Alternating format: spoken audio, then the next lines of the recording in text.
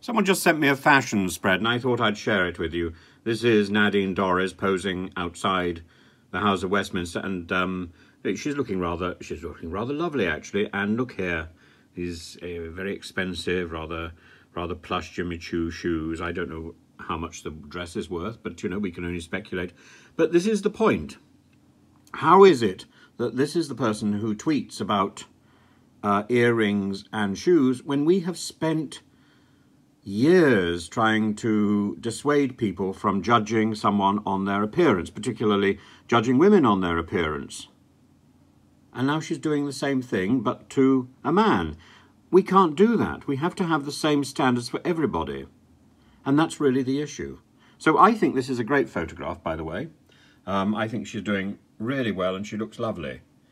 But uh, you can't pose in this sort of photograph and then start disparaging somebody for the cost of their shoes um, and talking about people's wardrobes. It doesn't work. It's called hypocrisy, I think.